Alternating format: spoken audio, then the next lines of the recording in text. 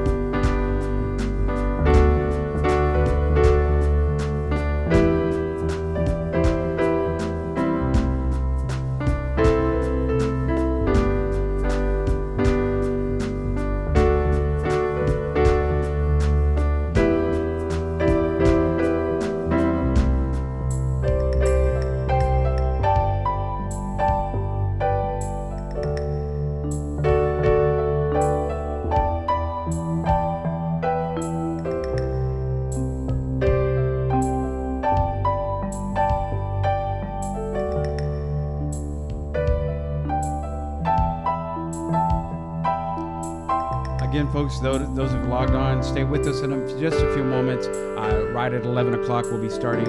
Uh, we're so thankful that you're joining us and know that uh, it is a hard, a difficult time when we're not able to meet together. But we want you to know that those of us are here in the congregation uh, want to welcome you that are also part of our congregation online.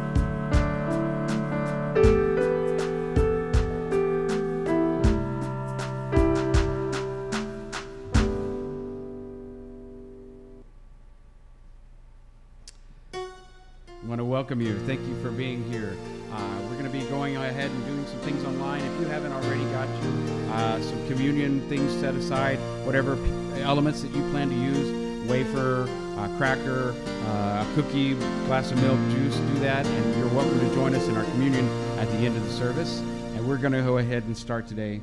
We've been, uh, as we've been meeting this time, and especially because of uh, a lot of people been joining us virtually, we've been lighting a candle to remind us that God is wherever we are. Where two or three are gathered together, God is there with us. So we want to light that now.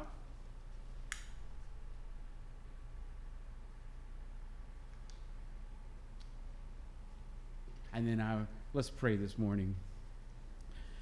God, we ask that your spirit be with each person who is here, each person who is listening online, each person who will. God, we know that you have a special calling upon each of our hearts and lives. God, you've got us here for a moment. May your word illuminate to us. May your will be laid out for us. May we know, God, that you a God that loves us. Before we leave these walls, before we leave this chat room, God, that we know that you, without a doubt, love us. And we thank you for that, Jesus. In Jesus' holy name, amen. Again, we so welcome that you're here with us. You're welcome to join us in praise and worship. Uh, the, the words will come up on the screen and join us as you sing praises to our God.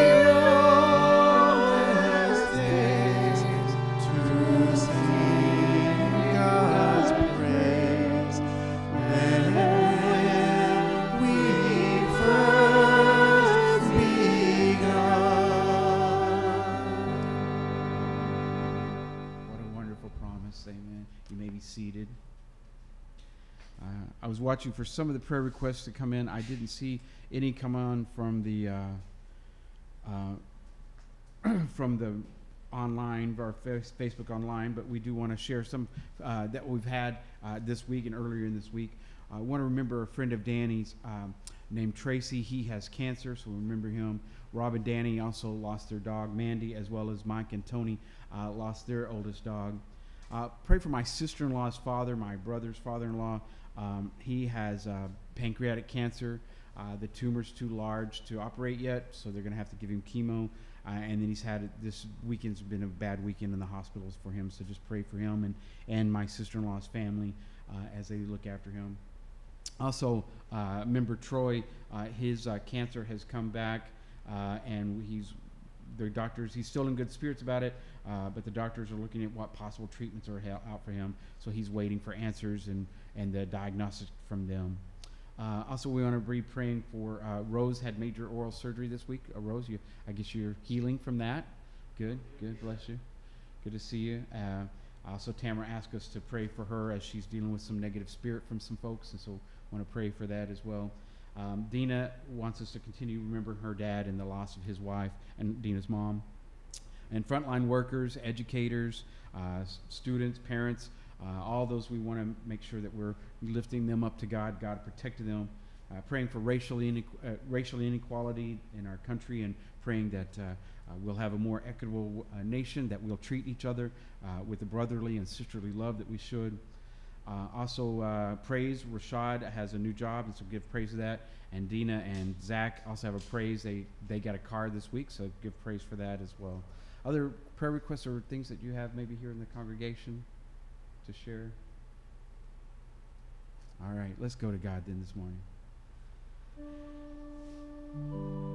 God, we thank you for your love. We thank you for your healing. We thank you for your hand upon us, God, when we need comforting and guidance.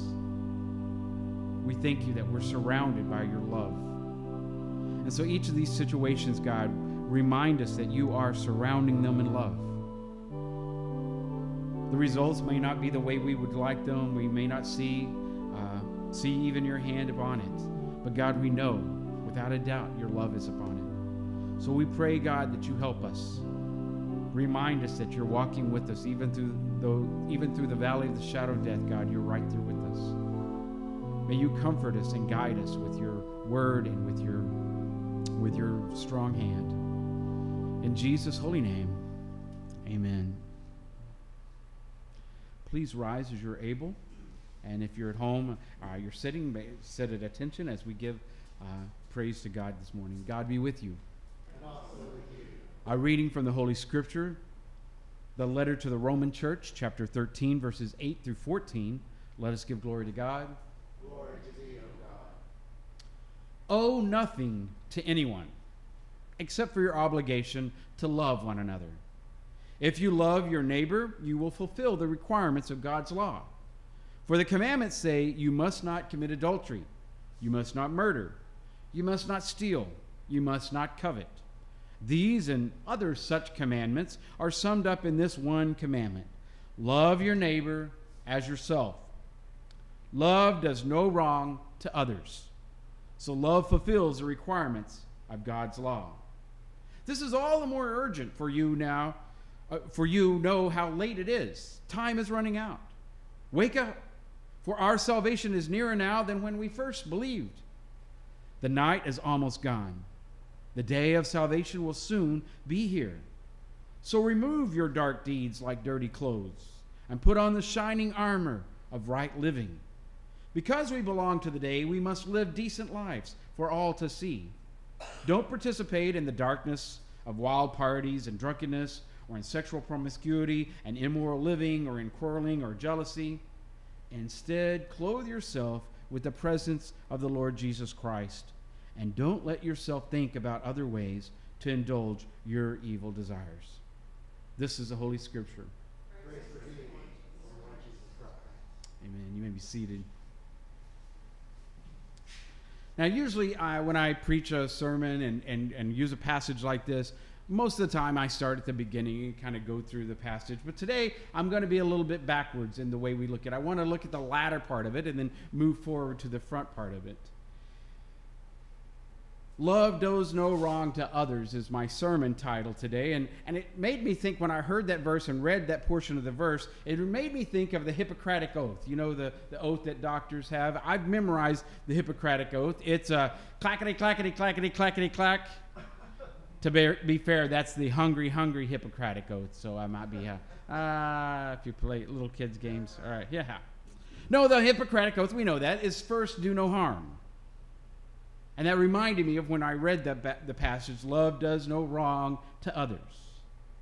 Now, the second part of this is an urgent part. And um, the Apostle Paul says that time is running out. Reminds me of a story, Pastor Debbie, she went to visit an older congregant one day and she told a parishioner, You know, in your advanced age, you should really be thinking about the hereafter. And he answered her, Oh, I do. I do it all the time. And he explained no matter where I am, in the living room, upstairs, in the kitchen, or down in the basement, I'm always asking myself, now why am I here? For, what am I here after? That's what he, sorry, I messed that up. Now what am I here after? That's the hereafter that he's thinking about. Salvation, the Apostle Paul says, is here and nearer now than ever before.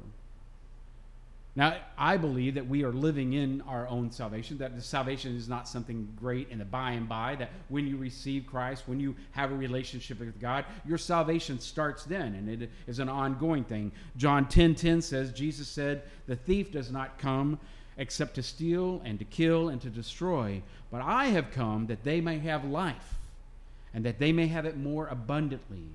Our abundant life starts in the beginning, and our relationship with God, our relationship with God's people, and the way we relate to other people through Christ is an abundant thing, and it starts now. And I believe now, during this pandemic, now more than any other time, we need to be thinking about the last times, at least for the last time for ourselves, if nothing else. Whatever your current circumstance is, we should be thinking about the last time. In fact, the message, the translation from the message, I was reading our passage today from the New Living Translation, but the message says, but make sure that you don't get so absorbed and exhausted in taking care of your day by day obligations that you lose track of the time and doze off oblivious to God. Folks, it's easy when you're during this pandemic, you're staying at home or your or things aren't the way they normally are and not being able to come to church and, and all those kind of things, it's very easy to get so caught up in our day-to-day life that we're oblivious to God. Don't let that happen. The Apostle Paul also says in 2 Corinthians chapter 2, uh, 6, verse 2, excuse me, he says, For God says, At just the right time I heard you, and on that day of salvation I helped you. Indeed, the right time is now. Today is the day of salvation.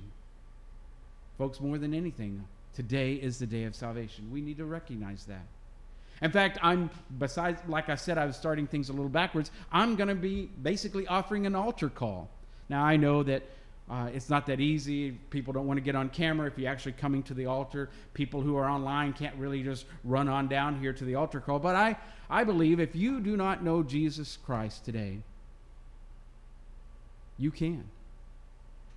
And most of the time, a pastor will offer the altar call at the end of the service and invite people to know Christ. But that's not what I'm doing now. I'm starting at the beginning doing that. You see, sin is anything that separates us from God. Sin is anything that separates us from each other. And sin is anything that separates you from who you're supposed to be in Christ. And the Bible says that all have sinned and come short of the glory of God. Romans 3:23 says that. And then he says, and the wages of sin is death. That means that separation between you and God is death. That separation between you and others is, is at least a, a relationship death. That separation brings death. But the gift of Jesus is eternal life. Romans 6:23. And God showed love for us while we were still sinners by Christ dying for us, which is Romans 5:8. And then Romans 10 says, So if you confess with your mouth and believe in your heart that God raised Jesus from the dead, you will be saved. And that chapter continues to say, And anyone who calls upon the name of the Lord will be saved. Folks, that's anyone. Whoever you are, whether you're here with us today, whether you're online with us, or you'll be watching sometime later, God wants you in a right relationship. And it's already been made. That right relationship's been made for us because of Jesus. All you have to do is ask. If you have any questions or you want to talk to me more about that, I'd be happy to talk to you. Uh, you can send a, a message, you can uh, do a direct message or anything like that, or speak to me after church. But that's basically my altar call at the beginning of my sermon. Love does no wrong to others. There's five areas I'd like to think about that. First of all, that includes self. It includes our significant others. It includes spiritually others. And it also includes society, which is, that's four. How did I do five? Anyway, that's four. First of all, self. You may have heard it said before. Mama RuPaul says, if you can't love yourself, how in the hell you going to love somebody else? Can I get an amen? Amen. Lucille Ball said, love yourself first, and everything else will fall into place. Self love, though, is not the same as self care. We do have to recognize that we do need to be taking care of ourselves. There are things, whether it's uh, getting the exercise you need, whether it's uh, exercising your mind and your souls and your bodies, those are ways that we do self care. That is part of self love, self care is. God created us and wants the best for our bodies, wants the best for us in all areas of our lives. That is self care. But self love shouldn't be something that's self serving. Self love shouldn't be something that's greedy. And it's not based upon how other people perceive us, and it's certainly not based upon how you perceive yourself. It's not based upon your circumstances that you may be going through, whether you love yourself or not. And it's not based upon your internalized thoughts about yourself. You see, you can have grandiose thoughts about yourself and you can have negative self image things, and they still, neither one of those are real self love. Our culture wants us to love ourselves by putting ourselves first. And that's the reason in public discourse that sometimes it becomes poisonous. It's also the reason why many Americans spend more than a billion dollars each year on their teeth whiteners. Yikes that's corporately all, uh, all Americans spend over a billion dollars on teeth whiteners. Like, I mean, does it make your teeth healthier just because they look healthier? A billion dollars just to look better. That's putting ourselves first. See, what God means by loving ourselves is more powerful, it's incredibly powerful. We love and value ourselves based upon the finished work of the cross that Jesus was on. At the cross, we identify who Jesus calls us to be, and that grace that is displayed, and the love that is displayed just for us. That is an everlasting love. Out of gratitude and for the grace of God in our salvation, we should present our bodies as living sacrifice in our worship and our service of God. Matthew 22, Jesus says, You shall love the Lord your God with all your heart, with all your soul, and with all your mind. And then he quotes Leviticus 19, 18, which says, You shall love your neighbor as yourself. If we're supposed to love our neighbor as ourselves, we first need to be loving ourselves the way God loves us. Recognizing that we are children of the Most High God that we have a place in the courts of heaven because of Christ. That is why we look at ourselves and love ourselves and recognize ourselves. And if we're loving ourselves appropriately, then it's easy to love other people. Speaking of other people, what about our significant others? Last week we read the portion of this in Romans 12 that says, Don't just pretend to love others, really love them. Hate what is wrong, hold tightly to what is good. Love each other with genuine affection and take delight in honoring each other. Folks, if we had more of that in our relationships, wouldn't that be a wonderful thing? And I'm not just talking about your intimate, significant other, but I'm talking about all of our relationship, whether it's a coworker or a neighbor or the person you just can't stand. If we are really loving, now, the hating what is wrong, most people get that, and I had to t- talk about that a little bit last week. The hating what's wrong, that's not hating what's wrong in somebody else's life. That's hating what's wrong in your life about the way you love other people. And hold tightly to the good. That's, that's recognizing when you are doing right and loving other people. That continued in verse 14, in verse, chapter 12, verse 14 says, Bless those who persecute you. Don't curse them Pray that God will bless them. When was the last time you prayed that God would bless somebody that you just couldn't stand? Wow. Some of you, it's your partner, your spouse, your husband, your wife, and you're just mad at them in the moment. How about asking God to bless them in that moment? How easy was that be? It's not easy, certainly, but we're called to do that. Often churches uh, and pastors and, and and uh, marriage ceremonies use 1 Corinthians chapter 13. We often call it the love chapter. You may know it, and I encourage you to read it if you if you haven't paid attention to it before. It's a, the passage of scripture that starts out with love is patient, love is kind, etc., etc. And really, we should be churches have done that sir, this uh, disservice because we've done this passage a great disservice because this wasn't written to a couple that's getting married. This was written to the church. Paul wrote this to a church, a group of people that came from all different backgrounds, all socially, economically backgrounds, all different races, and was telling them to love each other and giving some practical ways to love each other. And folks, we need to be paying attention to that in church. And not just as Christians. If you call yourself a Christian, we need to insist that we read that passage of Scripture, 1 Corinthians chapter 13. Maybe even commit portions of it to memory. If we call ourselves Christians, we should be living in love. And so, if we're doing it for the rest of the community in the body, then certainly we should be doing it for our significant others or those that we love in our families and things. Now, Paul flips on, uh, does a flip side of, the, of love. He directs our attention to what love shouldn't do. Specifically, he says, Love does no wrong to our neighbors or to other people.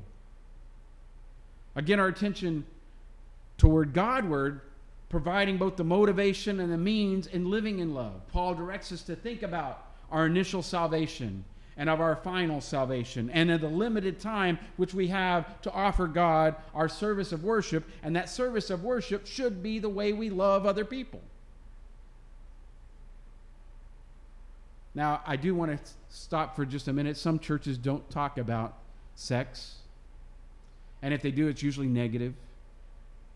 It usually has all the wrong connotations and a, and a, and a control thing. But I want to encourage you to think about say, sex and, and as a sexually safe and sane and consensual. The MCC Ministry Leadership Code of Ethics says this, and I, I like to read a part of this. Sexually responsible ministry leaders affirm sexuality as a gift from God are, and strive to honor this gift by conducting our own lives in accordance with responsible, positive sexual ethics in, a, in accordance. A positive sexual ethic balances desire within the embodied framework of our emotional, physical, sexual, and spiritual selves while preserving and honoring mutuality and consent. Basically, they're saying there are some things that shouldn't be doing. Shouldn't be any kind of sexual misconduct of, of a minor. Shouldn't be any sexual abuse or, or of anyone that isn't able to be legally competent and maybe a vulnerable adult. It shouldn't be around sexual harassment. Nobody should have to listen to or have to put up with coarse jokes or language or comments that would be sexually uh, undesired. And using one's uh, position of privilege for sexual exploitation shouldn't happen either and the attempt to develop a sexual relationship with someone that has been pastoral or supervisory relationship should also be discouraged. But they do admit at times a clergy person or a pastoral leader may develop an appropriate sexual relationship within the context of the community, including the congregation in which the person is serving, if there's been no direct supervision or individual spiritual counseling. Such relationships are to be entered in with extreme caution and a spirit of discernment. You see, folks, we're trying to be sex, sexually positive, but also at the same time, we do need to, we do know that many times people take advantage of others. And that leads me to intimate partner violence and to speak about that. UCLA uh, Williams Law Center showed that most studies found a lifetime a prevalence of intimate partner violence against the LGBT community, and it is higher uh, than the general population. Research show that the LGBT people face barriers to seeking help that are unique to their sexual orientation and their gender identities. And it includes questions about individuals' sexual orientation and, and gender identity in their surveys, uh, would help, maybe help some in the advance of the research. They say that the CDC says that intimate partner sexual violence survey that violence among bisexual women is more than heterosexual women that the violence against the, the, intimate partner violence against bisexual women is again more than heterosexual women.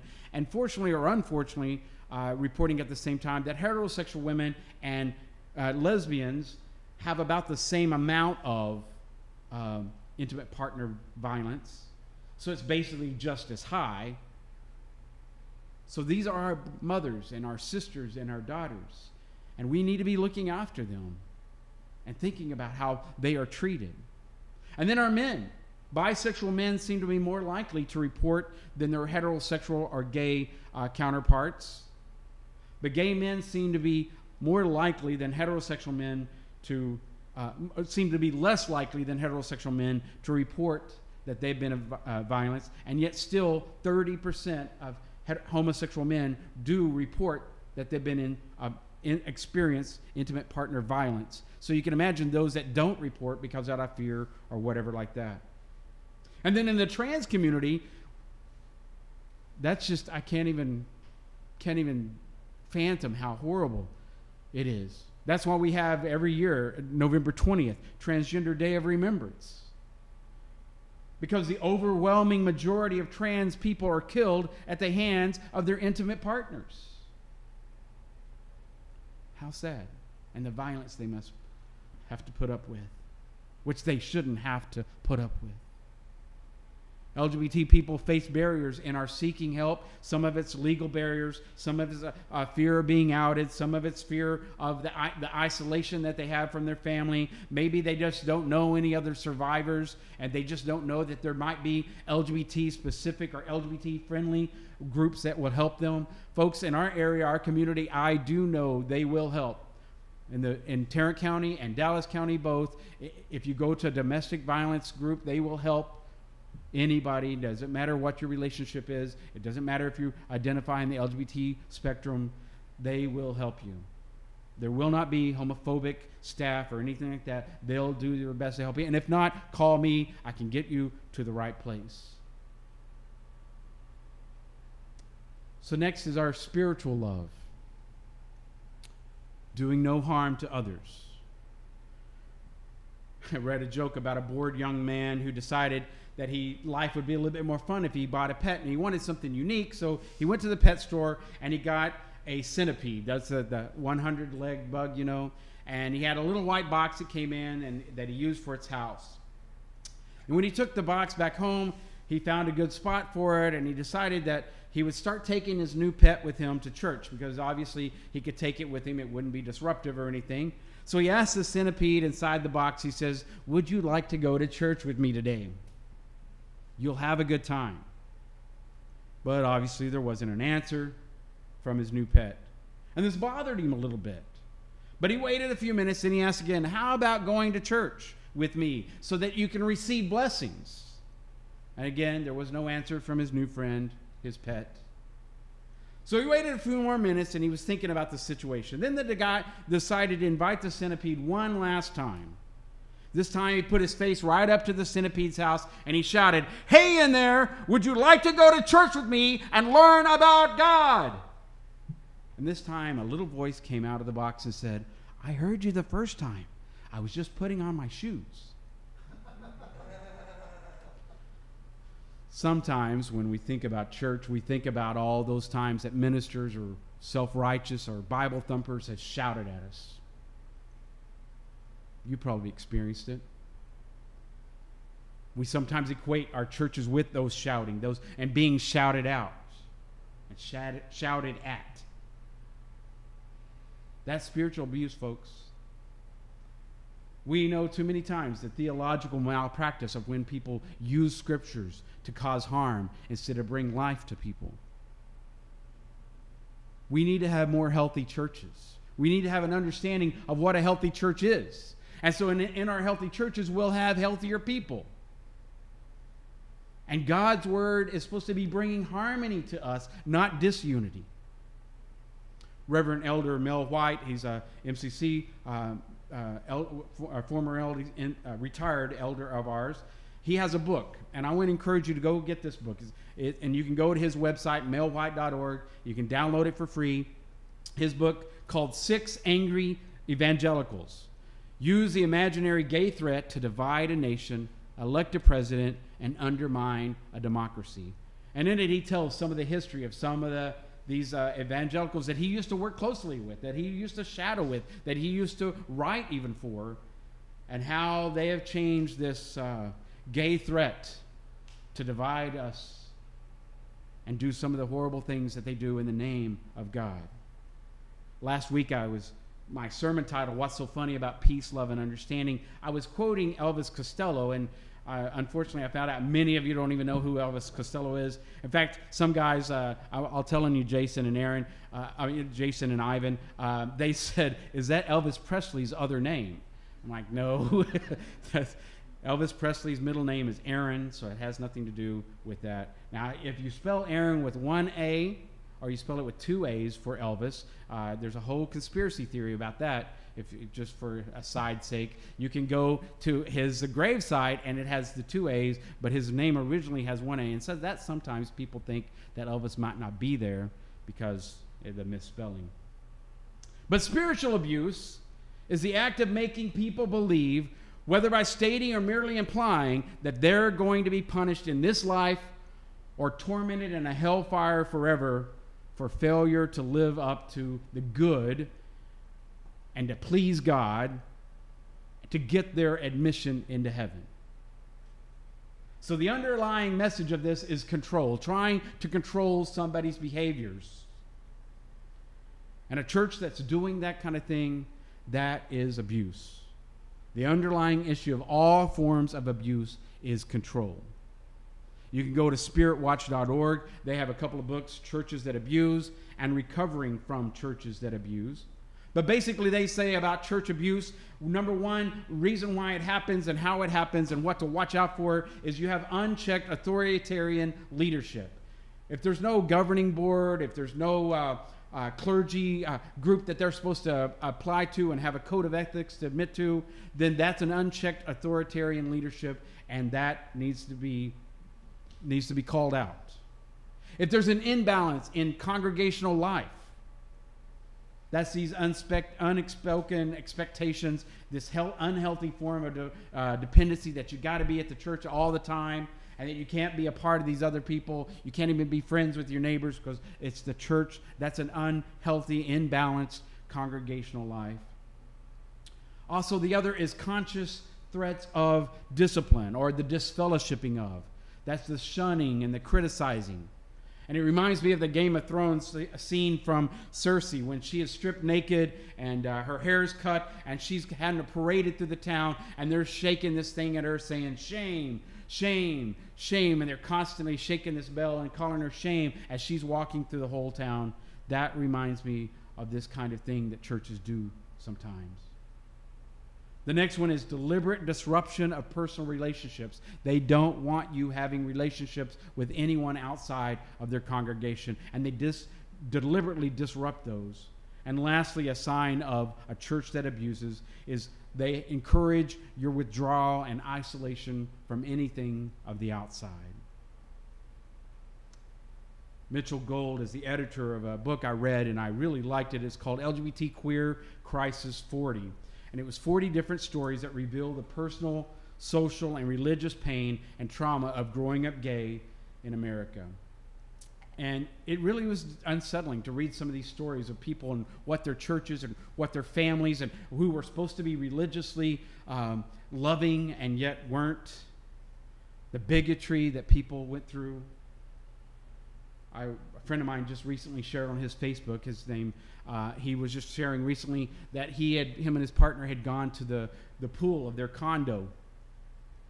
And uh, he was talking to a neighbor, and, and, his, and his partner was in the pool. And um, they were, he was talking to the neighbor, and they were chatting. And the neighbor knew a little bit about their life, that they've been together for five years. And, and, they, and he knew a little bit that they had been ministers. They both had been ministers, and, he, he just didn't know they were still ministers. But then he, after a minute, he says, So, guys, let me ask you something.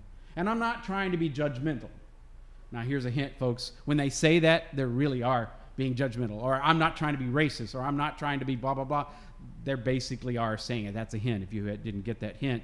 But anyway, he says, I'm not trying to be judgmental, but why did you steer away from Jesus and turn away from God? My friend had to set him straight and say, Look, we're both still in ministries. And the guy was just taken aback that how can you be a Christian and, and be living in this gay lifestyle. I thought you had to choose between God and your and being gay. And then while his he was trying to have this conversation with this gentleman, there was neighbor kids, uh, some teens. They were ridiculing them because they were making some snide remarks and some cruel intentions, talking about if you stay in the water too long next to them, you might turn gay too, or they might rape you if you get too close, implying that gay people are pedophiles. This was cruelty. These were negative stereotypes, hurtful things. And even the man that was setting, the neighbors heard the kids saying it and didn't call them out saying, You kids need to leave these people alone. They're just like the rest of us. He didn't call them out either. How horrible is that? Christians should stand against any kind of cruelty, against any minorities, against any outcast, even if that cruelty comes from our politicians. We should be standing against that. When somebody assumes that the poor deserve their poverty, that's a wrong, hurtful assumption. When someone assumes that an unwed mother must, have, must also have loose morals, that's spiritual abuse, folks.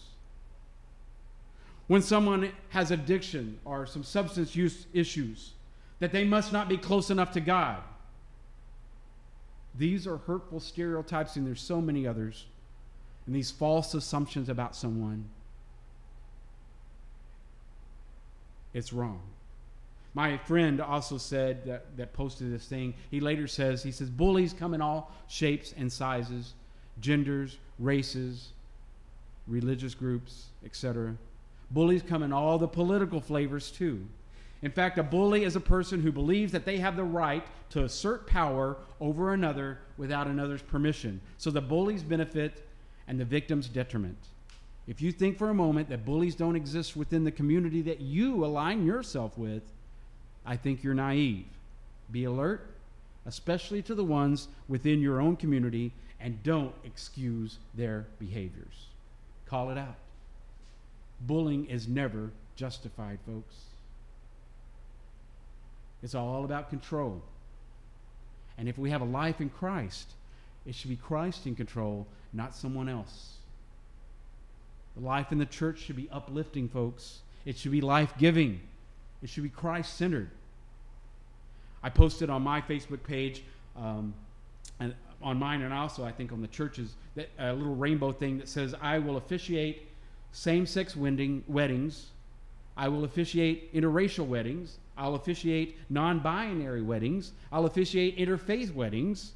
The weddings of any adults who wish to pr- profess lifetime devotion to one another because we need more love in the world. You know, folks, you don't know how many times as pastor I get calls, and especially because we do the Together in, uh, Twogether in Texas um, pre-marriage counseling class, the number of couples who call me feeling like there's nobody else out there that will help them. And it's not just the gay couples either. There's straight couples that had been married before. And there's so many churches that won't help them because they'd been married before, one or the other had, or because they had a child out of wedlock. And churches won't help them. I, the worst story I remember, the saddest, I guess, I remember, is uh, there was a couple that came and they came through class and they had their little baby with them and they, they, they said they had four kids between them, but they had the, the baby that's still with them. The others were in school. And by the end of it, they were telling me more about themselves. I realized they, were living in their SUV. They didn't have anywhere to go. And the whole reason they were wanting to take this class was to save the $60 so they could go get their marriage license so that they could finally stay in a church run shelter together. And the shelter wouldn't allow them to do it unless they were officially married. And so his kids and her kids, and they had the his, mine, and our kind of thing. And so they would be split up. And I'm like, that's ridiculous. And my heart broke immediately. I said, I'm taking you now. And so as soon as we finished with the class, I took them down to the courthouse. I paid the $11 myself because I, that's ridiculous because they couldn't they were going to have to wait another week before they could come up with the $11. I paid it right then. I married him right then. And the parking lot of the right downtown, there was a parking lot that was covered because it was raining by then. And I married him right then. We went back inside, gave them the license, and certified it. And they were married in those moments so that they could spend one more night, uh, uh not have to spend one more night in that SUV because some church wouldn't allow it. Folks, that breaks my heart. Lastly, is we should be loving and our love should not hurt others in society. My sister, when she was little, uh, my brother uh, was a lot larger than he was always larger than me, even though he was younger than me. He was always taller and bigger, uh, and so he was significantly. He was five years older than my sister, and they had gotten a little, uh, I don't know, spat or whatever. My little sister was really small; she wasn't even kindergarten yet, and my brother came in crying and probably over exaggerating that she had kicked him. And of course, my grandmother knew that you know you probably started it he probably started it and he's probably had good reason she kicked him but then she also felt that she needed to kind of get on to my sister because you know cheryl shouldn't be kicking anybody any, either so she said cheryl ann why did you kick him and she said i'll kick anybody but the devil my grandmother said what and so why, why, why would you say that? Why, why? And took my grandmother back a little bit. She said, why did she say that? And she said, because the devil might kick me back. Love is not only the motivation which should inspire our actions, it's the principle by which our actions should be governed, folks. If we're loving God and loving others, that, that should be an outgrowth of our salvation and sound doctrine. And these things should give unity and harmony where they should be. The story was told once about a missions group that went to on a border country and they were insincere in doing all the things that they did and, and they did many things for god there. A house was built and some children were being played with the skits were performed and worship sung. But when it was lunchtime the group sat there eating their lunch and they were talking in english. Uh, and they were relaxed and since they were considered themselves off duty. And they assumed their host didn't speak english either and so somehow they started a little joke, and the joke sort of spiraled over uh, as conversations sometimes do when people are tired, and, and their, their jokes sort of spiraled down and, and, and got to be not really funny and probably hurtful. And after lunch, the pastor of the church that was there uh, came to the youth group and, and the leadership of that church and said, Please don't come back. It'll take us years to repair the damage that your group's conversation had caused. Oh no, the host must have spoke English. But the less obvious point is It doesn't matter what language the host spoke. All of our actions, all of our words, they're fair game for people to judge our character. Jesus says they will know us by our love. John chapter 13. A new commandment I give to you that you love one another, just as I have loved you. You also are to love one another. By this, all people will know that you are my disciples, if you have love for one another. Love does no wrong to others, folks. Let's pray. God, we thank you for your love, the example of that love in Christ as he gave himself so willingly, as he crossed all barriers to remind folks that God, you love us and gave his very life so that we could be made right with you. God, help us to be more loving, fully loving of others, and remind us that that love does no wrong to others. In Jesus' holy name, amen. We really thank you for your giving. And if you are on our website, you are welcome to go to that and, and, scroll down to the bottom. There's a giving button there. You can do that securely, and uh, we appreciate that. You can also set up ongoing and sus- sustained giving. That helps us and keeps this ministry and helps us to be who God calls us to be. It's your discipline, your giving to God, and so we thank you for that, and we and we try to be um, faithful in receiving those gifts and using them for God's mercy and glory as well. If you're here in the congregation with us, there, we're not passing the plate around so that we won't have to have our hands touching it, but there is a plate near the office. You're welcome to put your offering in that plate on your way out. And so we thank you for that. You're also welcome to send in mail checks and, and the like. We so we still thank you for that. Uh, we've got many people that are ongoing givers, and so so much thank you for your faithfulness to God in that. Let's share our confession today. You're welcome to read this aloud with us if you'd like. Lord, who loves those whom the world would hate, forgive our lack of love. When we claim to name your name to justify the evil we want to do, convict our souls make our gut rot within us. When we choose to tear others down, ignoring their humanity, make our eyes see the terror of what we are doing. Do not allow us to turn away. When we lift ourselves up at the expense of stealing life and hope from others, cause us to stumble in our theft. Break us of our pride.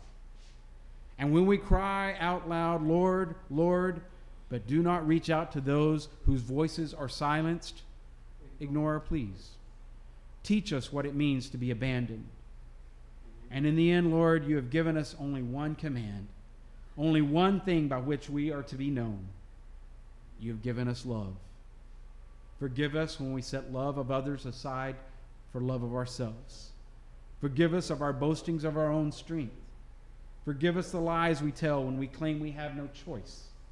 Forgive us not because we are worthy of forgiveness, but because your forgiveness leads us to love. Lord, who loves those whom the world would hate, forgive our lack of love. Amen.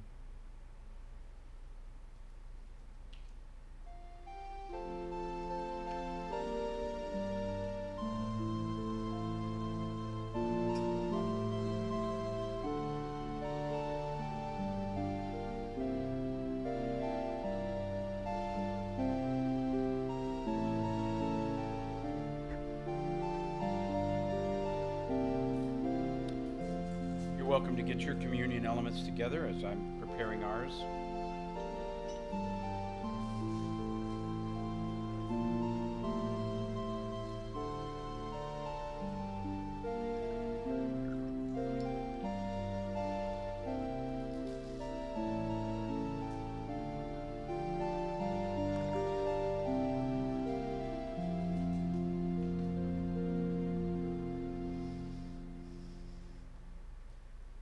We've had the opportunity to hear God's word today.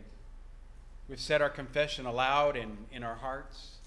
name of God, our Creator, Christ the child, and the Holy Spirit, our comfort and guide. I offer you God's forgiveness. go and forgive and love likewise. On the night that Christ was betrayed, he had gathered the disciples together. They were sharing in this meal, it was part of their Passover festivities. It was a time to reflect on what God had done for them as a people of faith. And he took a piece of bread and he blessed it. And God, we thank you for this. And then he said, This is my body, my body which is given for you. Take and eat. And then he broke it and he passed it among them. And then he took a cup of wine, fruit of the vine. And he said, This is my blood, my blood that is freely poured out, my blood that I give for you.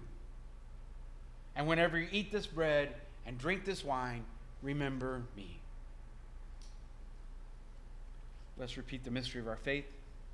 Christ has died, Christ is risen, Christ shall come again. Hallelujah.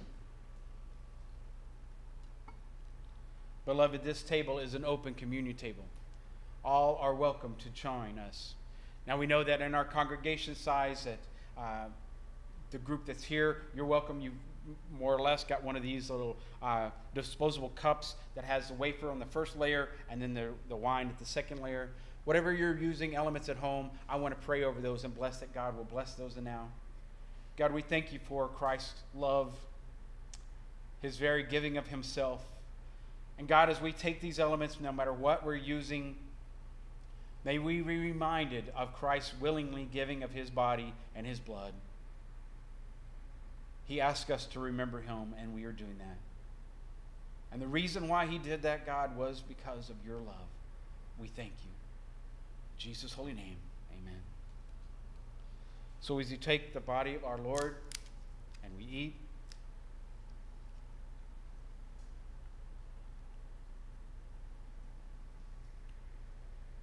blood of our Lord and drink,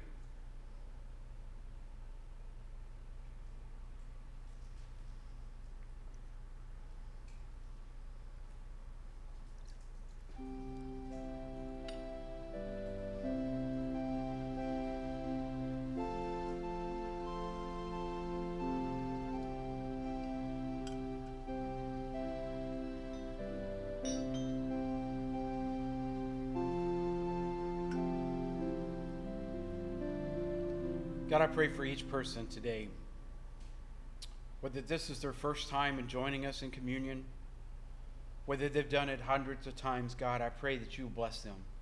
Those that are here in our congregation, those that may be watching now or soon to watch, God, we pray that you bless them. Remind them that, God, of your love. Remind them in our spirits that we are to love just as Christ so willingly gave of himself. We should give of ourselves to a world that desperately needs to know your genuine love. In Jesus' holy name, amen.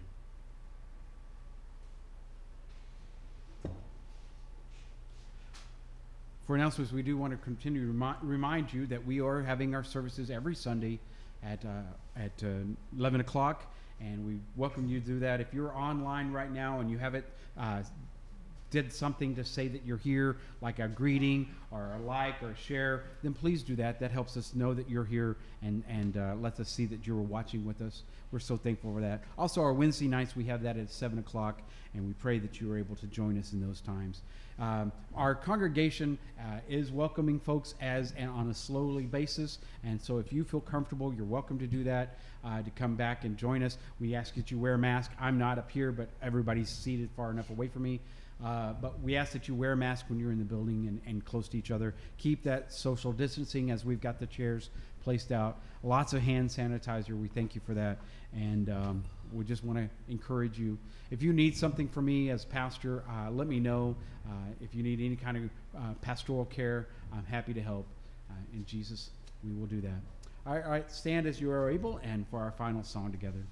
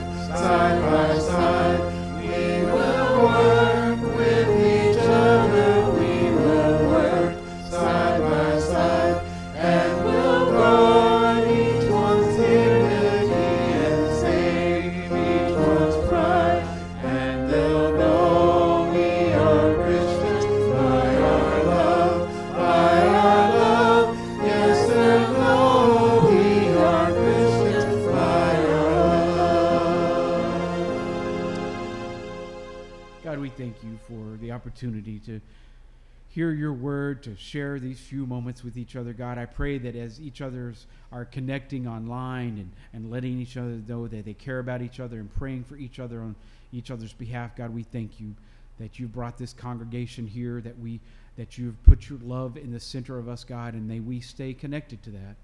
In Jesus' holy name, amen. Bless you each.